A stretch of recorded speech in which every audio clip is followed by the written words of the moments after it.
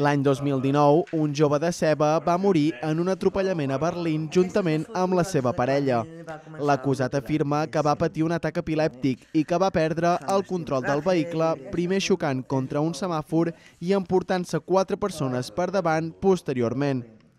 Ara encara, dos anys després de l'accident, els pares de l'Aleix continuen demanant justícia pel seu fill.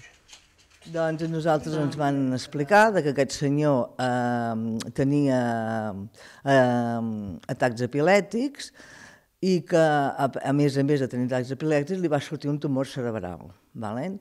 Llavors el van operar, que el van operar a Suïssa, i aquest senyor es va pensar que el vent-li tret el tumor cerebral, ell ja no tindria atacs epilèptics però li, li van dir no descartem que en tinguis perquè això és diferent de lo que tu tens, t'hem tingut que treure d'aquest tumor.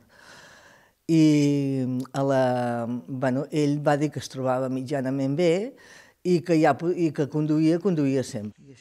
L'accident va passar pels vols de les 7 de la tarda del 6 de setembre del 2019. L'Aleix tenia 29 anys i estava esperant per creuar un pas de vianants amb la seva parella, amb qui acabava de trobar un pis per anar a viure junts.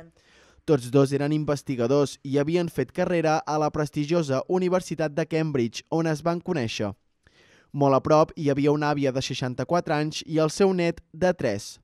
Tots quatre van ser atropellats mortalment pel vehicle que acabava de perdre el control.